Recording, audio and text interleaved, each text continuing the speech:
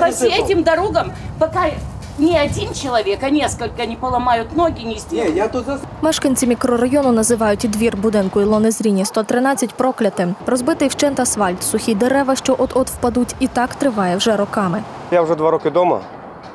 От два роки така дорога. Тут були вибори, по-моєму, тут трохи залатали, от кусочок.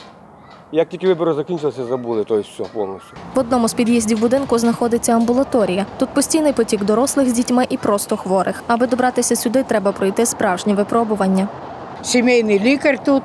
Муж вот лежит, поэтому я з- зашла справки взяла. И вот по этим идти колдобинам. Тоже мне не девочка я, как говорится, чтоб порхать или летать. Если бы можно было перелететь, понятно. Діти, що тут мешкають, не можуть вільно гратися. Вони змушені йти на сусідні майданчики. яма, сразу едешь на роликах, проваливаешься, и тебе... И, а, помогите! Типа я тону. Это вообще страх.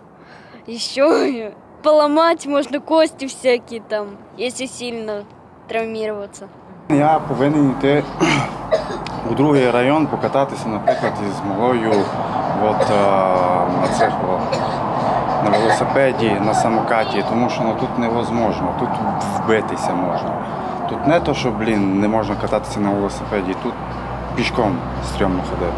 Люди розповідають, що особливо небезпечно стає тут узимку, коли дорога підмерзає, або тоді, коли випадають дощі і вода розливається так, що затоплює практично весь двір. Тому випадки травмувань тут не поодинокі. Були жони, падали, руки ламали, ноги ламали, з велосипеда теж падали. Тут була яма біля цього дерева по діагоналі, вона тепер засипана, зразу не скажеш. Ну там яма о, до коліна, от, десь може 60-70 сантиметрів вниз вона була глибока, там вечором падали.